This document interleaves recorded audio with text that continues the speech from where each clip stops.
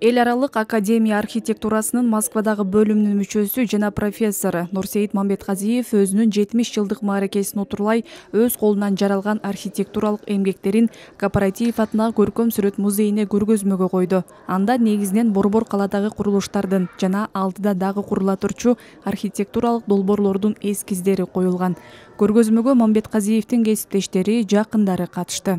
Бул менин иштерим көбүнчө кагаз жүзүндө калган себеби дегенде көп проекттер салынган эмес советтер союзу кулап э, система алмашып анан ошон үчүн көп менин проекттерим долбоорлорум кагаз жүзүндө калган анан ушуеки ошол долбоорлордун баарын иреттеп ушу элге кыргыз элиме көрсөтөйүн. Баягы ашуудан берген отчетум деп ушул элге көрсөтөйүн деп ушу музейге выставка кылып атам.